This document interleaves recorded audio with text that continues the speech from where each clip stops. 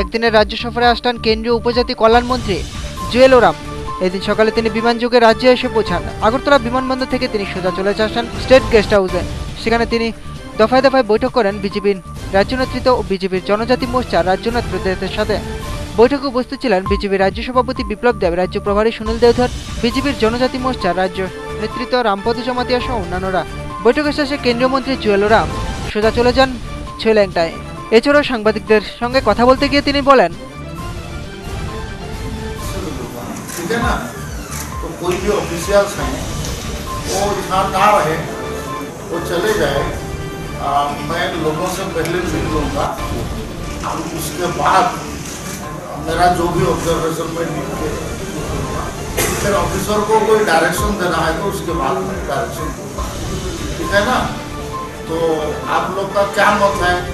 अकेले अकेले मिलेंगे या सब मिल के मिलेंगे जो मिल के मिलना चाहते हैं वो सब बैठ के अपना अपना समस्या बता सकते हैं अब जो अकेले भी मिलना चाहते हैं वो भी मेरे से अलग अकेले मिल सकते हैं और समझे तक ठीक है ना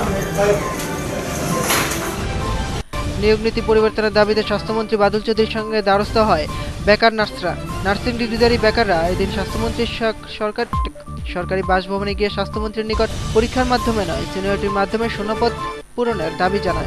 তবে স্বাস্থ্যমন্ত্রীর পক্ষ থেকে তেমন কোনো ইতিবাচক ভূমিকা না পাওয়ায় তারা সকলেই ক্ষুব্ধ। আজকে আমরা আগাম যে বিষয় ছিল আমাদের, যে স্বাস্থ্য রিক্রুটমেন্ট প্রসেস যাতে আর্লি প্রসেসে যাতে হয়, সেই প্রসেসে আমরা বিভিন্ন মহলে যোগাযোগ করেছিলাম। তো ওই সব মহল থেকে আমরা জেনেছিলাম কি এক্সাম প্রসিডিউর বিভিন্ন নত- নিত্য নতুন প্রসিডিউর তারা তৈরি করছে। তো ওই বিষয়ে আমরা সিএমের সঙ্গে দেখা করেছিলাম। উনি বললেন কি, বাদল চৌধুরী সারি সর্বে সর্বা তো ওনার সঙ্গে আমরা দেখা করতে এসেছি। তো আমরা ওনার থেকে ফাইনাল কথাবার্তা আমরা আমরা ওনার থেকে পাবো আর কি। কেন্দ্রীয় সরকারের বিভিন্ন জনবিরোধী নীতির প্রতিবাদে সারা রাজ্যের সাথে তেলিয়ামুড়া মহকুমার দুটি স্থানে একই দিনে বামফ্রন্টের বিশাল প্রকাশ্য সমাবেশ ও জনসমাবেশ অনুষ্ঠিত হয়। প্রধান বক্তা হিসেবে উপস্থিত ছিলেন সিপিআইএম ত্রিপুরা রাজ্য কমিটির সম্পাদক, মণ্ডলীর সদস্য গৌতম দাস। এছাড়াও এই দুটি জনসমাবেশে উপস্থিত ছিলেন সিপিআইএম তেলিয়ামুড়া মহকুমা কমিটির সদস্য ধনঞ্জয় দেববর্মা, সৃষ্টি দেববর্মা, রাজকুমার দেববর্মা সহ অন্যান্যরা। সেই নির্বাচনে নরেন্দ্র মোদীরা প্রতিশ্রুতি দিয়েছিলেন। সবার জন্য সুদিন আসবে আচ্ছা দিন আসবে। কি প্রতিশ্রুতি যে কৃষকরা ফসলের লাভজনক দর পাবে, শ্রমিকদের মজুরি বাড়বে, কাজের শর্তাবলী উন্নত করা হবে। বেকারদের বলা হয়েছে, বছরে দুই কোটি করে বেকারকে চাকরি দেওয়া হবে। মা বলা হয়েছে যে আপনারা সুখে থাকবেন, জিনিসপত্রের দাম কমবে। আর সমগ্র দেশবাসীকে নরেন্দ্র মোদীরা বললেন যে আপনারা সব ব্যাংক অ্যাকাউন্ট খুলুন। একশো দিনের মধ্যে সবার ব্যাংক অ্যাকাউন্টে পনেরো লক্ষ টাকা করে জমা দেওয়া হাজার পনেরো সালে চল্লিশ হাজার কৃষক আত্মহত্যা করেছে। দুই হাজার ষোলো সালে তার থেকে আরও কুড়ি শতাংশ বেশি।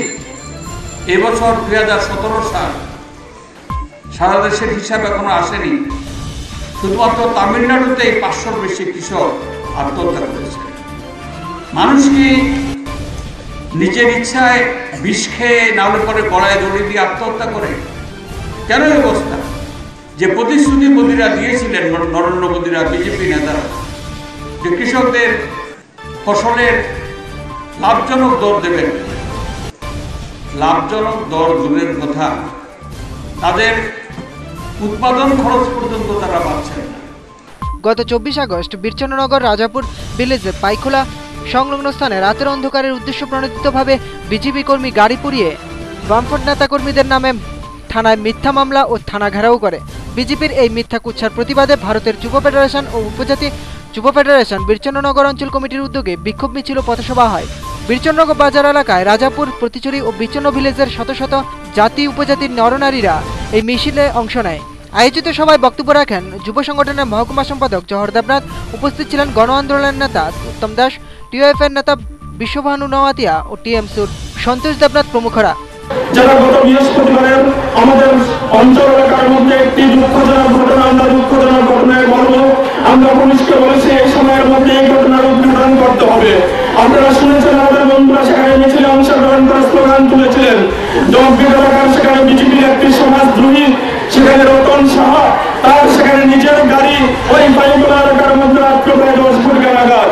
গভীর রাত্র যখন রাত্র গভীর থেকে পবিত্র হচ্ছে, মানুষ যখন বাড়িঘর বাজার থেকে সেখানে মাটি গড়ের মধ্যে সেখানে সেখানে গিয়ে মানুষ যখন রাত্রবেলা সেখানে ঘুমাচ্ছেন স্বাভাবিক জনজীবন যখন সেখানে নীরব হয়ে যাচ্ছেন আমরা লক্ষ্য করলাম এরকম একটি সময়কে বেছে নিয়ে ওই বাইকলা এলাকার রাস্তার মধ্যে নিজের গাড়িতে নিজে আগুন আমরা লক্ষ্য করলাম, সেখানে একটা পরিকল্পিতভাবে, উদ্দেশ্য প্রণোদিতভাবে আমাদের রাজ্যের এই শহীদের বন্ধুভূমি বিচ্ছিন্ন এলাকার মধ্যে আমরা লক্ষ্য করছি, সন্ত্রাসের একটা আতুল ঘর তৈরি করার জন্য পরিকল্পিত সেখানে রাজনীতিক, সেখানে একটা উজ্জুতি হামলা এবং সন্ত্রাসবাদী কার্যকলাপ চালিয়ে যাওয়ার একটা প্রচেষ্টা এই সময়ের মধ্যে বিজেপি নিয়েছে।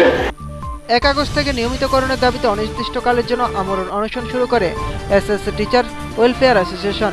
সাত আগস্ট রাজ্যপাল প্রয়োজনীয় ব্যবস্থা গ্রহণের আশ্বাস দিলে অ্যাসোসিয়েশনের পক্ষ থেকে আমরণ অনশন প্রত্যাহার করে নেওয়া। সেই মোতাবেক সোমবার এসএসসি টিচার ওয়েলফেয়ার অ্যাসোসিয়েশনের পক্ষ থেকে এক প্রতিনিধি দল রাজভবনে গিয়ে রাজ্যপালের সঙ্গে সাক্ষাৎ করেন। প্রতিনিধি দলের নেতৃত্বে ছিলেন অ্যাসোসিয়েশনের রাজ্য সম্পাদক বাস্তব দেব বর্মা। প্রতিনিধি দলের তরফে অ্যাসোসিয়েশনের দাবি সম্পর্কে রাজ্যপালকে অবগত করা হয়। আজকে আমরা রাজ্যপালের সাথে দেখা করতে এসেছি, যেহেতু রাজ্যপাল আমাদেরকে কথা দিয়েছিল আমাদের যে রেগুলেশন ম্যাটারে উনি আমাদের সাথে কথা বলার জন্য যে কথা যে উনি রেখেছেন, এখন আমরা একটু পরেই বারোটার থেকে আমরা রাজ্যপালের সাথে সাক্ষাৎ করো, করব এবং আমাদের যে অভাব অভিযোগগুলা এবং রেগুলাইজেশন এই ম্যাটার নিয়ে আমাদের রাজ্যপালের সাথে কথা হবে। বইমেলার মাধ্যমে রাজ্য সরকার সকল অংশের মানুষকে বইপ্রেমী করে তুলতে চায়। এর জন্য রাজ্য জুড়ে চলছে ছোট আকারে বইমেলা। ছাত্রছাত্রীদের অংশগ্রহণ করানোর উপর জোর দিলেন পর্যটন মন্ত্রী রতন ভৌমিক। সোমবার উদয়পুরের চার দিনব্যাপী ক্রেডিট বিক্রম ইনস্টিটিউটে বইমেলার উদ্বোধন করেন তিনি। সঙ্গে ছিলেন বিধায়ক মাধব সাহা, ত্রিপুরা পাবলিশার্স গিল্ডের সম্পাদক দেবানন্দ দাম। শিক্ষা দপ্তরের উপ অধিকর্তা লক্ষণ দাস। সভাপতিত্ব করেন কেবিআই প্রধান শিক্ষক হরিপদ দেবনাথ।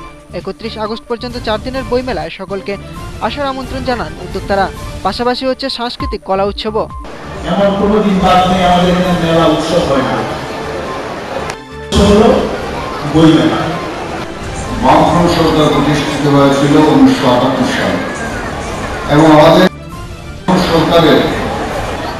অন্যতম প্রধান লক্ষ্য ছিল এই রাজ্যের যারা সাধারণ মানুষ আছে, তারা যেন ক্ষুধার্ত না থাকে গ্রাম, গঞ্জ এবং শহরে।